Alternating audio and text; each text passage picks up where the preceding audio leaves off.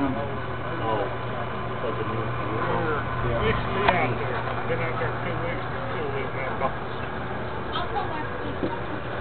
Yeah, I was gonna stop by yesterday. I saw, uh, who did I see? I, I think I saw Robbie's pickup here and some other vehicles.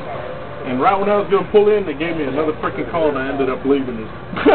I never got back Well, man, you should have, 'cause we we had this sucker loaded up with sausage last night. Oh. yeah, we were just. Oh, Jeez. they, they were them that you buy at the Mercado that are on a stick already, you Yeah. know. We Yeah. were just loading them up. Oh, I knew I should have. Well, I looked over and saw it. and said, "Oh, I slipped. Right when I pulled up, they gave me some CS on it. Uh,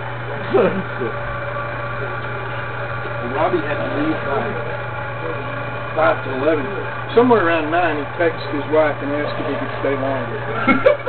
I was like, I was like, you're kidding me. Soon.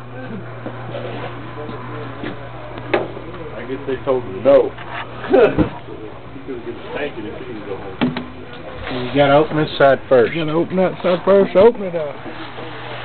Here now, we're losing heat. Oh, yeah. All right, close it up. Right. That's a good setup.